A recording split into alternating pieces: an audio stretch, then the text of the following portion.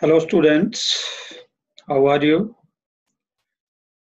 I hope you have done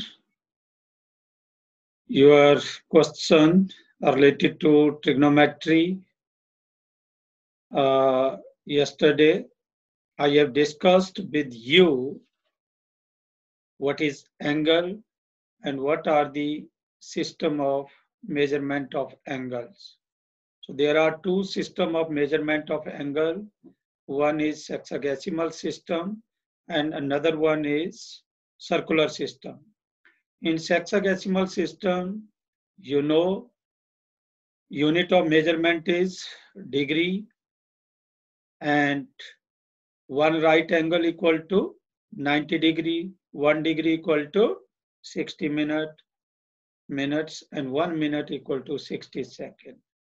And in case of circular system, unit of measurement is radian.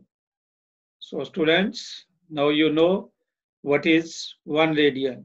One radian is the angle subtended by an arc whose length is equal to radius of the circle at the center.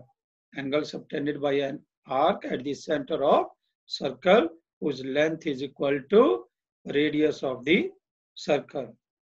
And we have also done one more relation that is theta equal to L by R. Also, in case of angle, I have told you that angle may be positive or negative.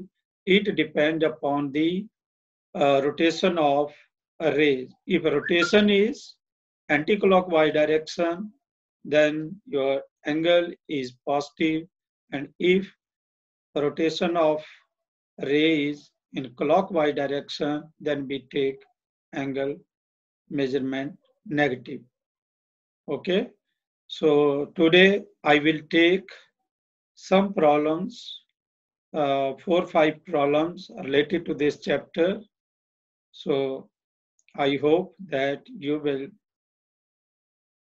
learn from these problem how to do the different types of question. So in case of measurement of angles, uh, students, you know, pi radian equal to 180 degree uh, and theta equal to L by R. These two relation you know now, theta equal to L by R. And this angle always you get in term of radian. When you use this formula, L means length of arc and R means uh, radius of circle. Yes. Also, you know angles. Uh, when angle is between 0 to 90 degree, that quadrant is first quadrant. 90 to 180, then second. 180 to 270, third quadrant, and 270 to 360, fourth quadrant. Means your this plane is divided into four quadrant, first quadrant, second, third, and fourth.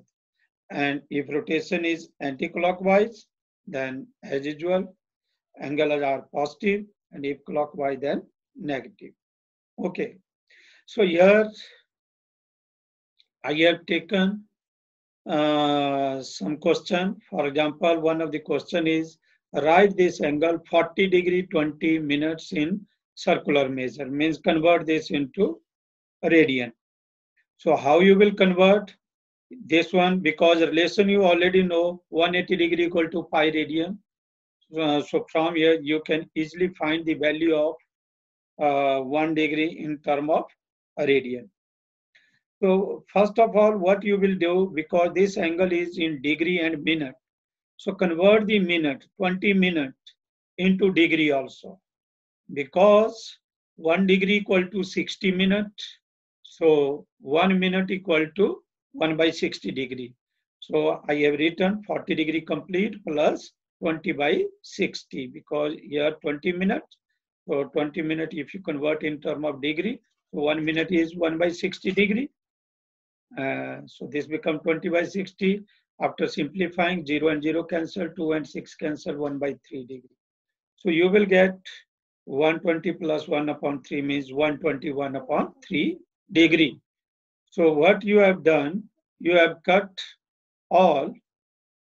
Uh, so after simplifying, you will get 121 degree upon 3. Uh, now you can convert it into radian. So we know 180 degree equal to pi radian means 1 degree equal to pi by 180. So 121 upon 3, just multiply by pi by 180. Clear? Because 1 degree equal to this, 121 degree means multiply by this. So this become 121 pi upon 548.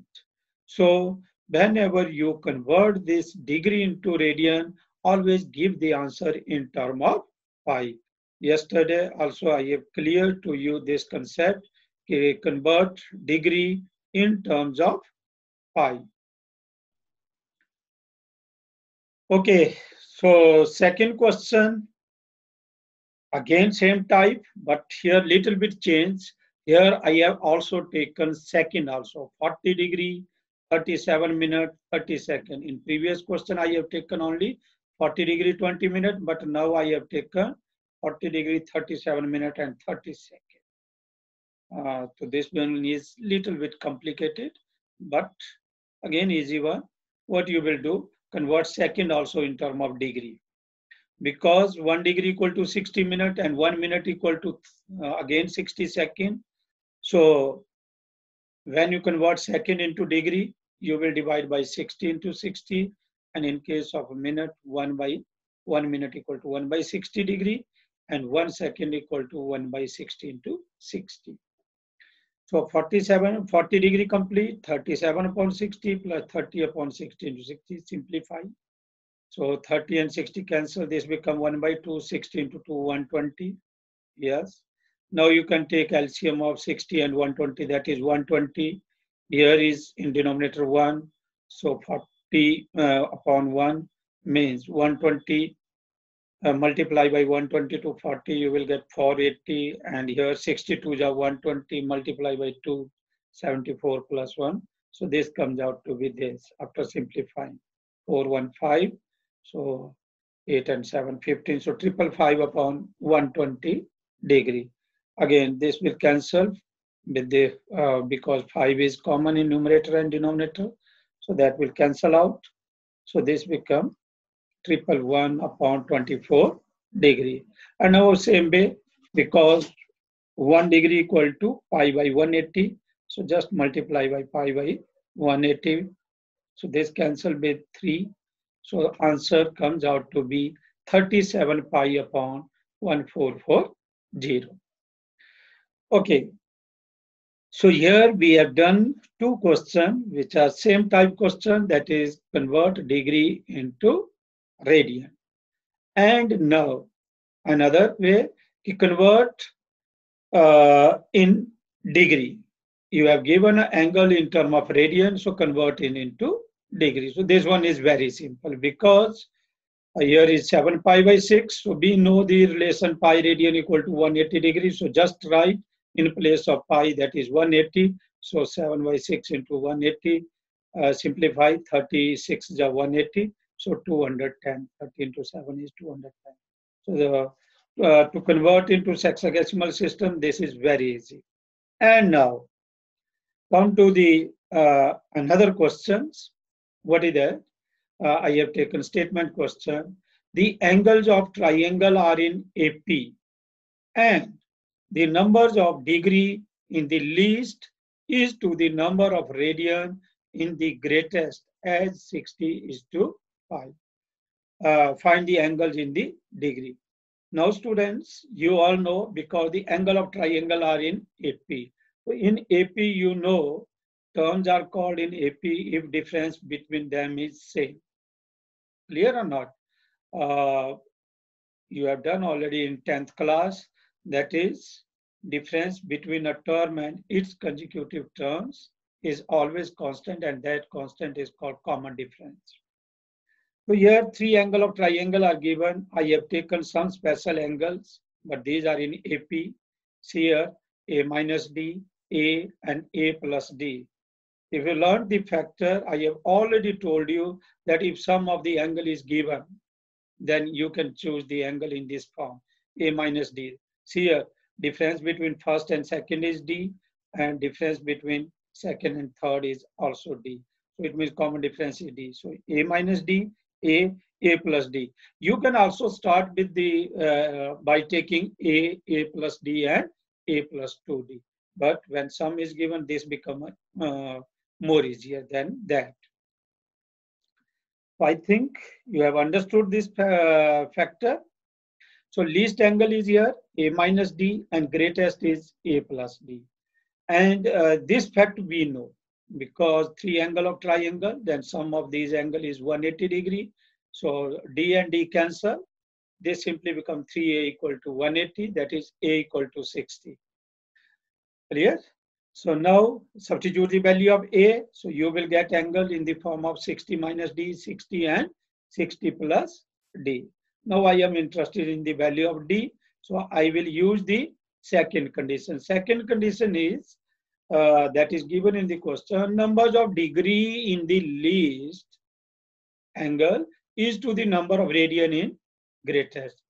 So बेटा यहाँ जो main point है कि जो smaller angle है वो आपने degree में लेना है और जो ग्रेटेस्ट एंगल है वो आपने रेडियन में लेना है तो मेरे पास तीनों एंगल डिग्री में है that is smallest angle is 60 minus D and greatest test is 60 plus D. So you know how to convert degree into radian. 180 degree equal to pi radian. So 1 degree equal to pi upon 180. So I have multiplied this 60 plus D into pi by 180 means now this greatest angle become in term of radian. So ratio of least and greatest that is 60 minus D upon this 60 plus D into this equal to 60 by pi. So what happened? You can simplify pi and pi cancel, and now cross multiply. Cross multiply means 60 minus d is equal to 60 into 60 plus d upon 180. Simplify 60 and 180 cancel 3. So cross multiply 63 is 180 minus 3d equal to 60 plus D. So what you will get 180 minus 60 equal to D plus 3D that is 4D. So 4D equal to 120 means D equal to 120 by 4 and that is nothing but 30. So now angle is D is 30 and A I have already calculated that is 60. So first angle becomes 60 minus 30 that is 30, second is already 60, and third is 30 plus 60, that is 90. So simple problem.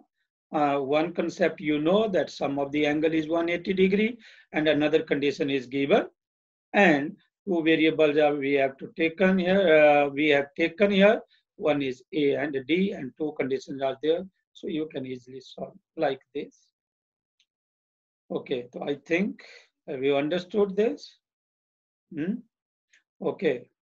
Then come to next question. One more problem for, uh, for you If the arcs of the uh, same length in two circle, ठीक है arcs of the same length in two circle subtend angle 75 degree and 120 degree at their respective centers. Find the ratio of their radii. It means there are two circles, clear? And length of the arc in both circle are same. So in one circle, angle subtended at the center is 75 degree and in another 120 degree. We have to find the ratio of their radii. So let R1 and R2 be the radii of two circles and let L be the length of each, uh, each arc. So we know this relation now, theta equal to L by R. And whenever you use this relation, angle is always in term of a radian. Clear? So here theta 1 equal to L upon R1 and theta 2 equal to L by R2.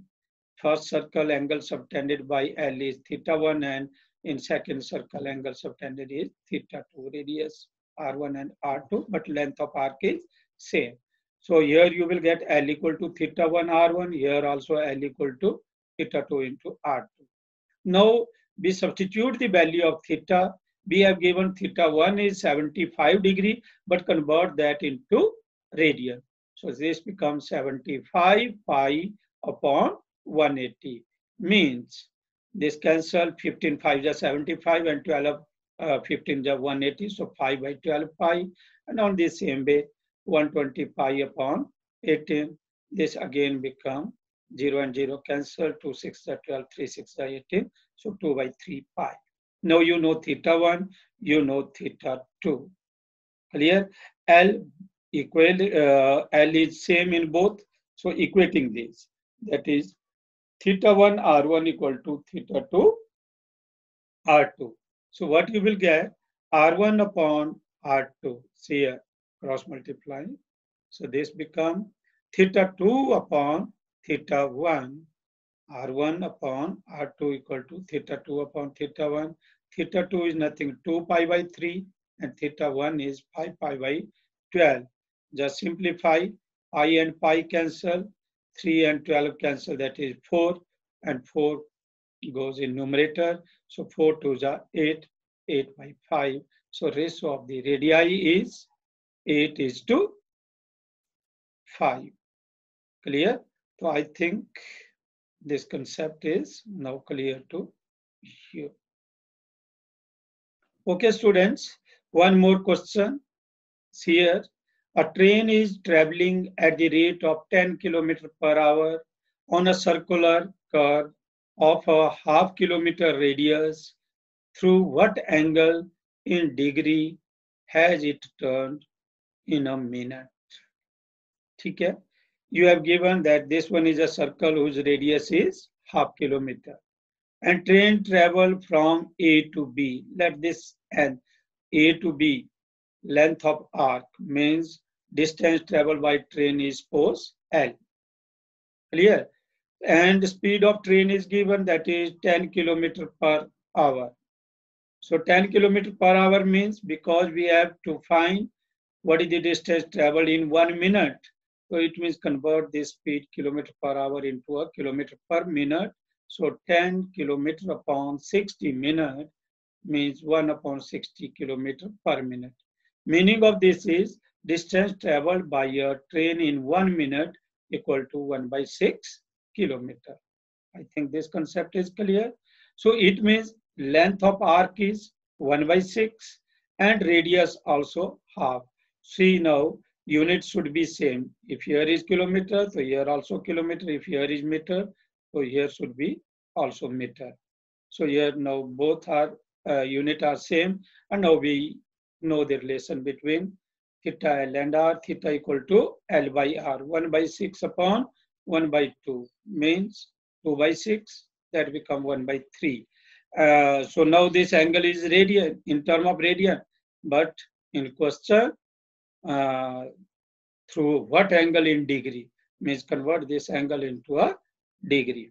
So again, we know because pi radian equal to 180 degree, so 1 radian equal to 180 upon pi, so 1 by 3 into 180 upon pi means uh, 180 upon 3 becomes 60 and pi is nothing 22 by 7. So simplify 11 to 22, 30 by 11 into 7 means 210 upon 11. Now you know how to convert degree into a minute and second.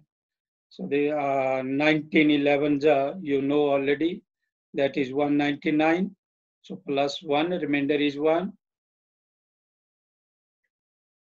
Uh, 11 team, you can see 11 1 ja 11 carries 2. So this become 20. And again, uh, 11 9 ja 99. So further, what you will get, you can see from here Okay, so this become means 11 19 ja 109. So remainder is 1, 1 by 11. Convert that 1 into minute, 1 degree. That is 60 minutes. So 60 by 11. Further again divide. So what happened? 19 degree. Uh, 11 5 ja 60, uh, 55. So you will get again remainder 5. 5 by 11. and this is further divided. One minute is equal to 60 seconds, so 300 by 11. 19 degree, 5 minute, and 300 upon 11 second. Convert it into that is uh, 90 degree, 5 minute, 27 and 3 by 11 second, or you can say approximately 27 second. Clear?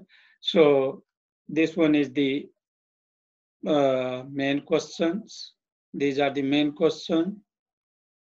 So students, you can do the exercise related these questions clear from your NCERT book or if you have any extra book you can also do from that uh, from next uh, that is from Monday or Tuesday we will do another one that is simple questions uh, of trigonometry. Uh, you, you have already done in 10th class that is there are 60 ratios okay and relation between them identity also you have done so please revise that concept also so that you can here easily understand the trigonometry. Okay? So do well. Thank you very much